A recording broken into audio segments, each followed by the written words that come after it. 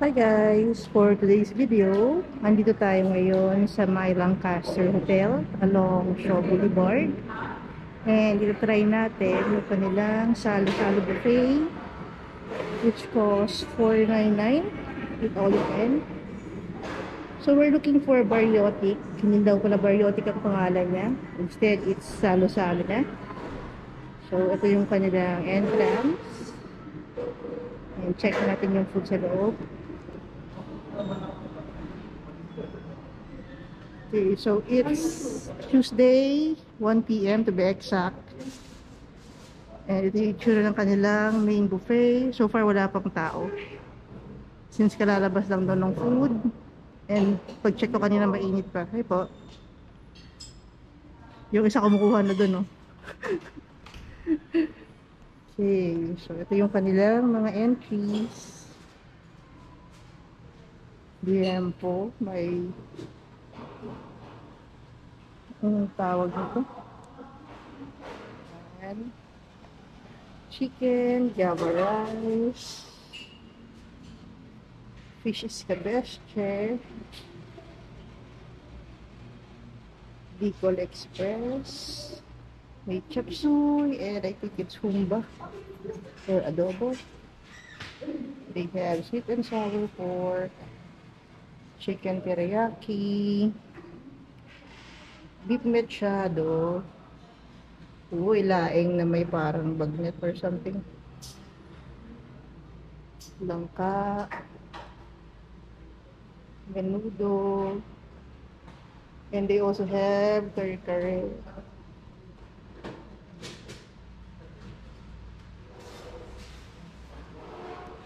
May pork apritada, pork adobo. So, kung ba nga yung nandun sa kabila. Wow, pansit. Chicken fingers. Ano kinukuha mo? Sweet and sour fish. Sweet and sour fish. Yung sa kabila. Marami pa rin. Daming gulay nakakatawa. Hmm. Caldereta. We have pakbet. Ay, pork humba. So, di ko alam kung ano yung unang nakita ko dun kanina. But ito yung pork humba and pinakbet. May garlic rice, chicken barbecue. Wow, dinuguan.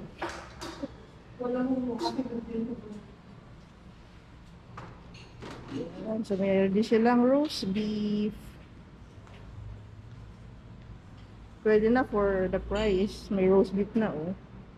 Then sa gitna mayroong mga dessert like pichi-pichi, fruits, kutsinta,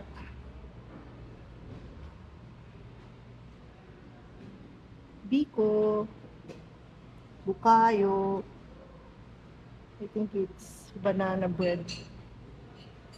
Oh, may coffee na rin, no? Mag-rice ka? Okay, so kain muna ako. And we'll try to review later. Pakita ko lang yung buong buffet area. So, that's pretty much it. Yung drinks pala nandito. Then kasama na to sa 499 na price. Ayan, may mga drinks. Iced tea, four season, and my ice. Okay? So, yeah.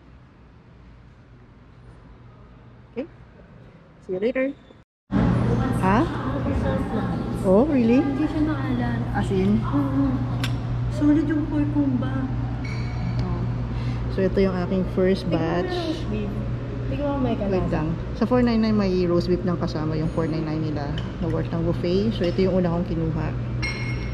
Okay, so marami silang gulay. Ito bihira yung langka, tsaka laing, chop Tsaka may distinction yung dito sa Michado nila. May, la, may kakaiba ba? Iba Ayan. sila. Naubos niya na ganyan yung first Hindi plate. pareho yung lasa. Iba-iba. This time, ano, distinguish mo yung Machado Caldereta. Tsaka ano, menudo. So, What the fuck? underrated ba? Honestly, hindi din. Hindi ko rin alam eh. Ay, next nakata ko din. Kung pagpasok parang okay. Sarap nung ano nila, langka. Sarap ng langka, manghang. Hmm, ito sila eh. Kumuha ka ng isang subo lang. Uy, dapat di na tayo nagsamba ko, Jim. Naka, no? Naka, mura pa.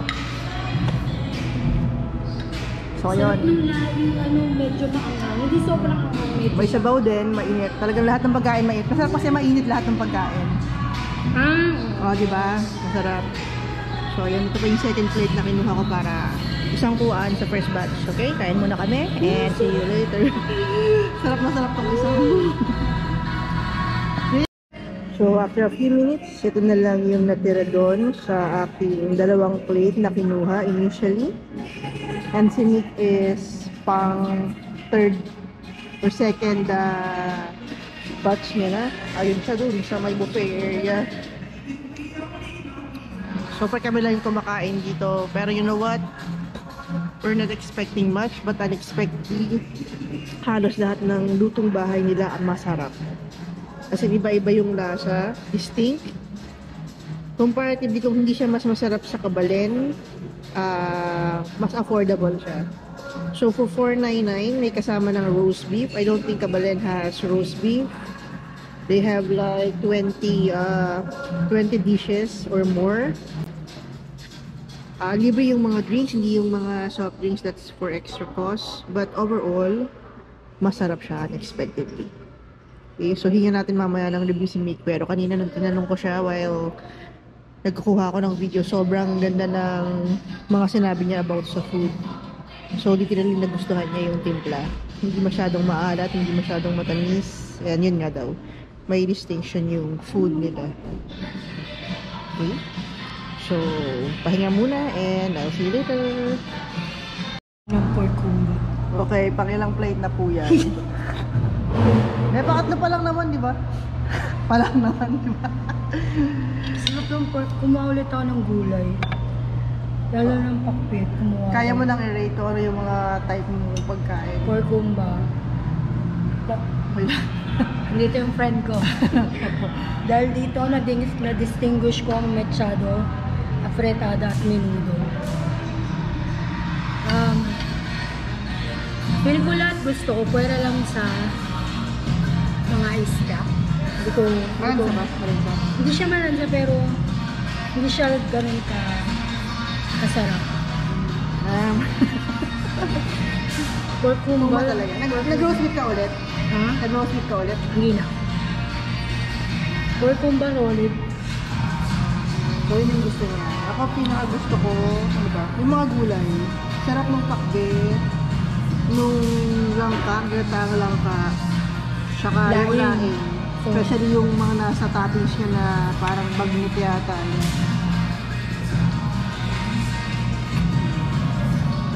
Anong Ay, rate mo? Dinuguan. Ay, dinuguan? Sarap? Hindi ko alam eh. Hindi ko tinipan yung dinuguan. Pero yung kaldereta masarap, napaka-peanut eh. May kare-kare pala. Laing. At binataang lang ka. Tinikman mo talaga lahat. Ano pa ba? Gusto yung apat. Dinuguan, laing, binataang lang ka, kumba. Ako I rate this for its price, 8.5. Sobrang sulit. Ako 9. Seryoso kung, kung comfort food. Huwag Homey. niyo, huwag niyo expect yung parang katulad ng mga Kabale, ng mga... Pero kung comfort food, solid na nito. Tapos magbe-birthday ka, 499 like, solid na. As in, Sulit solid. na sulit na siya. Yung Wala mga lang siya, wala lang siyang lechon pero may roast beef. Tapos ma- kompleto yung ulam, lalo na yung gulay, marami silang gulay, maraming fish, chicken, beef, and pork kasi yun talaga.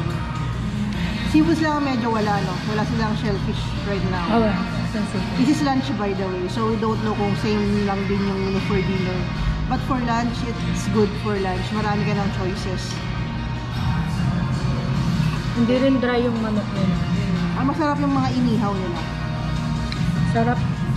Kasi hindi ko pa natatry yung dessert, wait lang.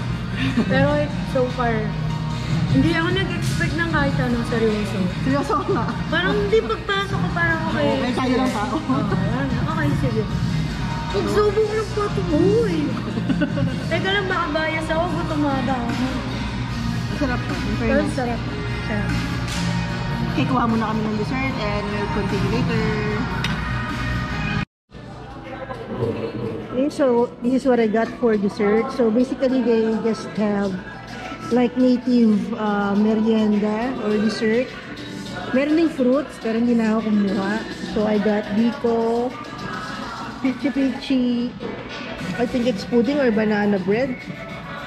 Then they have this bukayo na kakaiba. Parang dito lang ako nakakita ng bukoy na may bukayo. Ayan. And kutsinta.